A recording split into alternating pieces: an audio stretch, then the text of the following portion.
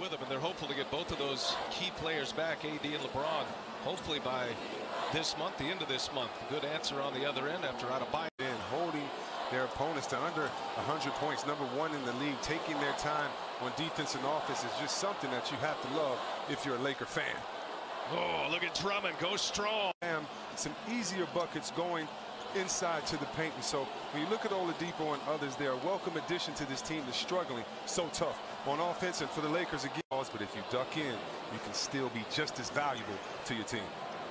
And Drummond gets a steal here. Drummond handling the ball, leaving it up for KCP, who converts it. Lakers, this team, is, as you mentioned on the call uh, earlier today, Miami has gone through that quick turnaround, but both of these teams feeling like they're coming and rounding into great form. Another great defensive play right there by Drummond. Look how hard Bam is working in there to try to fight Big Drummond in there defensively.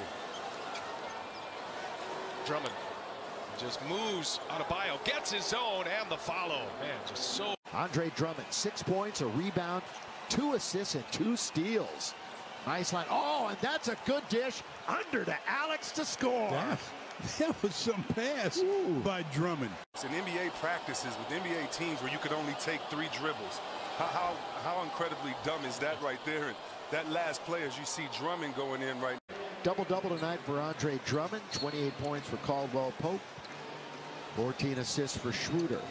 In the corner after the time.